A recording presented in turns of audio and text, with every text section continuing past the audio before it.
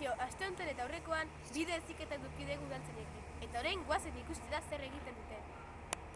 gehi trafikoa bideratzeko, a ber.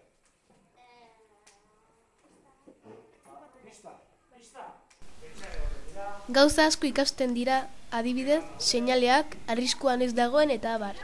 Gainera, udaltzainekin oso ondo pasatzen dugu. Bizikletaz, ibiltzen gera, trenez ere. Ibilaldiak egiten ditugu eta abar.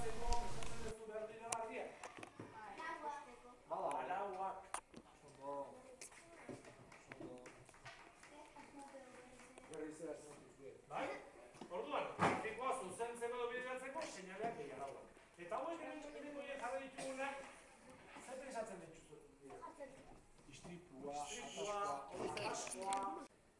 A ber. O. N.